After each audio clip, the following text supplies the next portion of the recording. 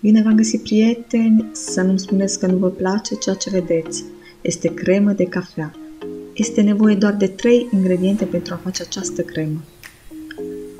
Avem nevoie de 150 de grame de zahăr pudră, 20 de grame de cafea solubilă, le-am amestecat binișor cu lingura și am pus 200 de ml de apă foarte, foarte rece.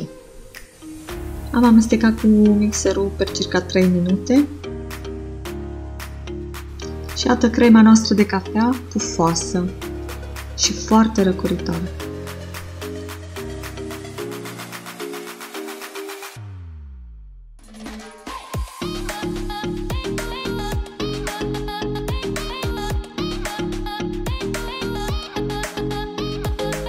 Am așezat-o frumușel în pahare, după care am adăugat fulgi de ciocolată, puțină cacao și iată, crema noastră este nu mai bună de servit, foarte răcoroasă, mai bună pentru zilele de vară. Eu vă salut și vă aștept la o nouă rețetă aici pe canalul meu. Pe curând!